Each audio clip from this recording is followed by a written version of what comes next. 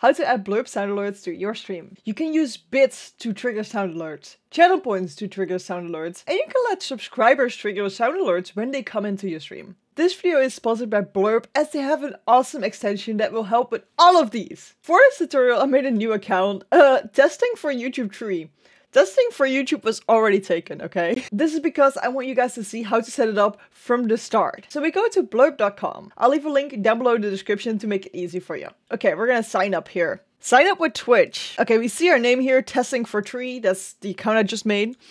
And it asks you for permissions and we're gonna authorize it. So it generates a username for us. Let's see if we can remove this. It's still valid. Okay, nice. And our email address, I did block it because I used my personal instead. and our birthday, let me set my birthday to be my actual birthday. You can set a profile image here, but for now, I'm not going to bother with it because, well, this is not my actual account. This is just so you guys see how to set it up at the start. Okay, agree with the terms of service and continue. We made a brand new Blerp account here. So when we made an account, all we can do is click on streamer dashboard here. And this is where you can set the settings for channel points, bits, welcome, and you can see the history in affiliate. What we can also do is click on our image here and click on profile. This brings us to our profile where we can see which blerps we have edited, which collections we've made, and which blerps we have made ourselves. Okay, we have a button here that says Twitch dashboard. If we click on that, we have welcome to Blerp, build your community, continue to access with your Twitch extension settings. And here we can say which of their products do we want to use. Do we want to use the bits, which is if people donate bits, we can play a sound alert. We can turn that on or off. Walk on when subscribers walk in do you want to trigger it? Create up to 50 channel point rewards for viewers. This is grayed out. I think the reason this is, is because we're not a Twitch affiliate. Which also means that we cannot use subscribers and bits right now because we're not a Twitch affiliate on this account, right? We can say I use OBS or something else. If you use Streamlabs OBS or Twitch Studio or XSplit, you can click on this one. I do recommend using OBS, so we're going to click on that one. So what I'm going to do is we're just going to click on copy here. Now we're going to get a little bit of a streamception with my OBS. And what we're going to do is click on the plus and add a browser source. Here we're going to call it blerp. And I'm just going to paste this link here. We're going to make it 1920 by 1080 and click on OK. You won't see a difference. Like you see, it's just empty, but the alerts will come up here. The sounds will play and the visuals will play in this screen. Okay, we can test the audio here. You've made a grave mistake. You can see it works. Okay, good. If this doesn't work, you probably did something wrong. If you still need help, there is a little article here that can help you with that. Install extension. If you want people to interact with the Twitch extension, you can install that here and set it up. If you want to use the channel point rewards, you do not need the extension. So then you do not have to download this. Okay, so if you want to only use it for the channel points, skip this step. We're to click on install and configure. Open a config. That will lead us back to the website and we can get started. Okay, so we clicked on it, we gone back to the website. You don't have to do everything again. If it doesn't work, you could do everything again. But now there's this configure button here. It will always lead you back to the page to configure the extension again. So now we can see that if we click on here and go to our creator dashboard, here we can click on extensions. And if we click on my extensions, Blerp has been activated here now. We can activate it as overlay for a stream as component 1 or 2, or we can edit in our panels. If we edit as a new panel, then it will be underneath on our profile. If I go back to my channel, which is not actually my channel, and we go to about, we can see that the blerp extension started to show here and people can start triggering these sound effects. Okay, so there's a lot of settings we haven't gone over yet. So here in the top right, if we click on our icon, which we haven't set because, you know, this is just a throwaway account to show you guys, we can see a lot of different things. Let's just go to account settings first. Here we see our username and we see the type of profile. It's normal. We can also set it on private if we don't want to share our information. If we click on here, we can see all information about our gender, last name, first name, stuff like that. I haven't set those because again, it's a throwaway account, but I would recommend filling these in. Like I see here, we have the streamer subscription and the hotkey app subscription, which is another feature they have. And here you get 50 rewards, Twitch supported maximum, because you know Twitch can't do more than 50 rewards in the channel points. Custom reward description for the channel points, custom reward colors for the channel points, and blerp buckets. One reward with multiple sounds. For example, if you want to trigger a random sound alert for a horror stream or something like that. And you can see you can get a two-year plan, a one-year plan, or a monthly plan if you want to test it out. We can also see the premium content here if we click on it. This is where you can become a Blerp partner. And you can see these are the sound packs that you can buy. And we can see that there's an Uncle Iron's voice pack with the original voice actor. How do you expect to swim if you are boxed like a fish? So we can see there's a whole pack of these sounds. And we can explore all the blerps by clicking on this button. And blerps are actually the sound effects. If you do not have the button with add new blerps, what you can do is go to the top left and click on blerp. Then we go to the same page. So here we can see there are some premium packages from streamers, for example, that you can buy with sound alerts in them. But here we also have a lot of free blerps like the Screaming Goat and much more. There are some recommended for us here, top creators who made blerps. You can click back here on my library to go back to the page that we were just on and explore blerps to get back here. You can load more blerps here as well. Brain fart. Ooh, that sounds interesting. There are tons of blerps on here, so you can find a lot of different things. There's also the search option here. For example, we can find a whoosh. Or we can search for a laugh. The memes, guys. The memes. There's a lot of memes on here. So if you're trying to find some memes, just search them up here. So for example, we want the w meme and I'm just gonna bookmark it here. And now it says saved underneath here, we can say it's funny. I think it's funny. Let's go. We're giving it a funny and we're, we're voting it up basically. I think the best way to find specific blerps would be searching them. But if you want to get some inspiration, I would definitely go to new blerps here and load some more in. And you can see what kind of new blerps have been coming in. You probably want to bookmark this page so you can easily access your blerps and change them around if you want to. If we go to my library, but we will see that the laugh has appeared in here. People can start using them if we have blerp set up. Alright, we can add as many as we want, so let me just add a couple more. And when I'm adding them, you can see their rating here. This is PG, G, PG-13, so we can see if they're appropriate for kids or not. So I'm going back to the library and I've added some, so we do have a little collection now. If you need any more help with setting up the blerps, you can go to blerp.com and go to support here and contact the team. You can ask any questions you have. So to create your own blerps, what you do is you go to create, new blerp. Here you can just upload a file. You can upload a YouTube link, a Twitch link, TikTok link, SoundCloud link, Vimeo link, Facebook link and a Twitter link, and they will turn it into the sound, or you can just literally upload a sound. You're also allowed to upload an MP4. So, for example, I do have this clip of me being a dummy, and we could take the audio of this by dropping it in here. And then we can select here which audio we actually want. Okay, we selected the, the part where I'm saying, okay, it's 45. It's not, obviously. Now we have a board length of 3.5. 0.91 seconds. We see the starting point and the end point and we just click on next. Now we're gonna give it a name, 45.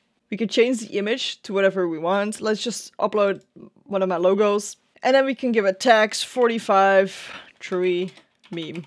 Because that's what it is, the 45 trui meme. And we can set it on public, unlisted, or private. So if we don't want to share this blerp, we can set it on private. If you want other people to be able to share it as well, set it on public. If you want people to not find it unless you share the link, unlist it. Who is the creator, speaker, or author of this video? Well, what's the sound actually? That is me, Trui. And what is it? It's a it's a sound effect. It's a quote, I would say, because I have said that. The quote is source uh, Twitch stream, and the transcription is 45 45. Next we could create a new collection. So we create a new collection and call it Trui We could click on this for a picture. Let me see, we do probably have like a picture that I can use, like my face. Here we go. And we can set it on public again, private or unlisted. Let's just keep it on public. And then here, uh, find your new blerp in your library. So if we open blerp again, we can see that it will open the meme. We can play it. Come on, it's 45, 40. Five. We can see that it's uh, created by testing for a YouTube trui. That's us. and we can see that in created here, we now have 45. But we also have a collection called trui memes. Okay, we also have collections up here. We can make one collection of blerps. We can give it a name like birthday or something like that, and we can use it for a birthday stream. Here are all the blerps, the ones that we've saved, and the ones that we've purchased as a collection, and the ones that we have created here. I mean, these are tags, so, you know, we have everything now. But created is the ones that you've uploaded yourself on Blerp. If you want to create a collection, but you do not want to create your own Blerp, that's also possible. We click on create, and then go to new collection. Here we can do the same thing. We can upload a picture, put a name in, a description, and make it public or unlisted or private. And then you basically get the same thing as when you do it while creating a blerp yourself. For the rest of the tutorial, I will be switching to my actual account because that was going to make it easier as I'm a Twitch affiliate and this account obviously isn't. Okay, this is my actual profile. I've got one follower on Blerp. Thanks, whoever that is. Okay, what we're gonna do now is we're gonna click on our profile here and we're gonna go to channel points. This button will transfer your old channel point rewards into the new ones. Click on that if you still have the old ones. We added multi-select and a better way to test your rewards. So now we can test them here. We have the Twitch chat we can copy the URL again for in OBS here. So we go back to OBS, we click in plus, browser, blerp, channel points, paste it in here, 1920 by 1080. Okay, and it's in here. What we're gonna do is we're gonna create a new reward. Here we can see some suggestions, the Screaming Goat that we have listened to before. I mean, I'm a fan, so we're gonna add that one. Preview in OBS. I hear it come true, so that's good. We can add tags for the Screaming Goat, but we can keep it like this if you want to. Screaming Goat, it's already called like that. The volume, if it's too loud or not loud enough, we can change that here. So this means that we can change individual blerps from how loud they're gonna be. The reward color here for in your channel points, so we're gonna make it purple. We can also put in a hex code if you want an exact color. The description uh, now it's powered by blerp, but we can do whatever we want. Triggers a gold sound alert. Redemption amount, this is how much it costs to trigger. Let's say 1000 channel points. We can put a cooldown in here, which means that nobody can use it for, for example, 5 minutes if you've used it before. We can also say we can only have it once a stream or 10 times a stream. But we can also say one user can only trigger it once. Limit is 10 per stream, but one per user, which means 10 users can use it. But it's also cooldown for 5 minutes, so 10 users can use it as long as it's at least 5 minutes apart from each other in one stream. We can add the reward, and it's going to appear in here.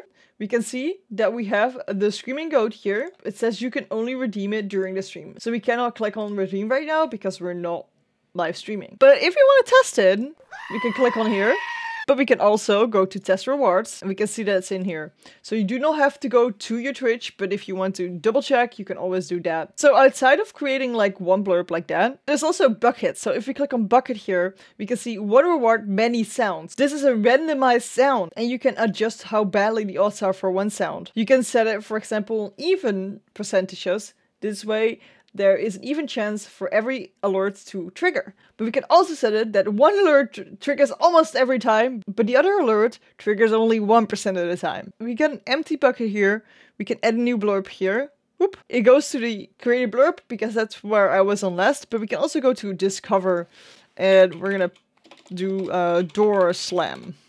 Door slam? Okay, this one is creepy enough. We're gonna plus. Weight controls the odds of the sound playing when this reward is redeemed. So now we have 10, which means that if we also give a weight of 10 to other blerps, the chance would be the same. Click preview to simulate what will happen when this redeems. So we can preview and now we only have door slam, so it will always play the door slam. We can call this bucket horror for horror streams, and we can say the amount of channel points it costs is, for example, 1000 to trigger this. The cooldown you can set, for example, only one per minute, 50 per stream, but a user can only do max of 10 per person. We can add more in here, which would make sense in the bucket. For example, Scream. That's scary. Okay, let's add that. And because they have the same weight, the odds are gonna be the same.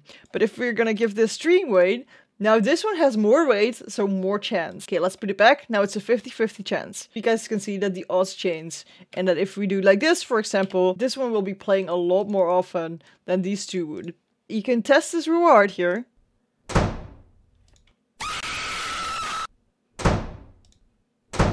You can see that most of the time it will be the door slam now. And if you want to create this blerp collection, we can add as many as we want in here. We can create it and it's going to be saving. Actually made this bucket and we're going to go back now. We can see there is a horror bucket here. You can see that this is a bucket and not just one sound by seeing multiple of these squares in here indicates that there are multiple sounds instead of one. If we go back to a Twitch chat and reload the page, we can see there's a horror bucket here now that we can redeem if we're live. You can add a max of 50 because this is the maximum Twitch will give for channel points. If you want to change the settings here, there's the cog wheel and we can copy the browser source here and test the rewards. Then we can set the channel points, cooldown and stuff like that as default settings. So if you want to do the same settings over and over, this is a good thing to do so you don't have to set it multiple times auto fulfill by Blerp, the channel points will go into the channel points reward queue, but they will be accepted by Blerp. So this means that they will be removed out of the reward queue because they have been played. Channel point volume, you can change the volume here if you want it less loud or louder. And we can hear successfully updated. And we can save the settings here. We can blacklist some of the blerps if you don't want them. You can also block viewers from using them by putting in their name here here in this list you can see we have banned and can, you can unban them if you want to and the general settings. Here you can also set up who is editor. So for example, if I want to add somebody as an editor, I can for example say and then we're going to search this person. This is my other account and we're going to add as editor. And then if they want to change some blerps, they need to have this link. So make sure that you send these to your editor because then they can add blerps and they can remove blerps to your account. If you want blerp to not post that they're triggering a sound alert, you can also turn this off and it wouldn't put anything in chat while triggering the sound alerts. You can also customize the message here. We can also customize the alert and extension. If we turn this on, it will be custom and we can change how these things look like. For example, we can change the color of this. Now it looks differently. We save it and now it will look different in our OBS. For change settings for the bit extension, we can click on channel points here and then here in the top right, we see the cogwheel and click on bits. And now we do have the settings here. This is the browser source you want to put in OBS again. We can test the audio. We can install the extension by clicking on here. It will bring us back to Twitch and we can install it. We've gone through this, right? And we can set it as component, which is an overlay for a stream, or here in the panels on your Twitch profile. We can also configure the extension here and activate the extension right here. You can change how these alerts look like for the bits in here. If you are on the channel points page, what we can do is we can go to bits up here and here we can set some settings. For example, we can activate global search. This makes it possible that your viewers can search any pages and use any blerps. We can also turn that off if we do not want that and they only can use the blerps that we have set. If we want that, we can say how much the things should cost, 10 bits for now, and what the rating would be, for example, G for everybody. And who can use these all viewers tier 1 to 2 or tier 3. I would say all viewers because they pay bits for it. And we can see the viewer panel if we click on here you need to make sure that you activate the panel in the extensions for this to work. Here you can copy URL for OBS to put in your browser source to have these sounds actually go off. And here we can again look into my library, discover new ones, create blerps. And then here we can say we add a new page. So this will be our home page. Let's say we're gonna add the goat scream in here. Now the goat scream is in here. We're gonna add something else. So we've set two things in here now. You can set as many as you want we can set a law and we can add more pages in here. And if you want to edit these, we can click on these dots here. We can enable or disable the blerp. We can change the name, the volume it will play in OBS, the amount of bits they need to pay for, and who can actually trigger them. So what we can do is we can move these around. And for example, the ones that we want people to trigger, we can put these in the first page. So you can basically change these positions of these collections to somewhere else and have the first page be the blerps that we actually want people to use, for example. For walk on, we go on here. Let's resume this. We can see all the people that come in that try and trigger something. Right now, there's nobody. We can also see what's improved and rejected. Walk-on sounds let your viewers play a unique sound of their choosing when entering your stream. So they can go to all the blurbs and look at something they want to trigger. They're coming into your stream and they might say oh, hello, but they also might just throw in a jump scare.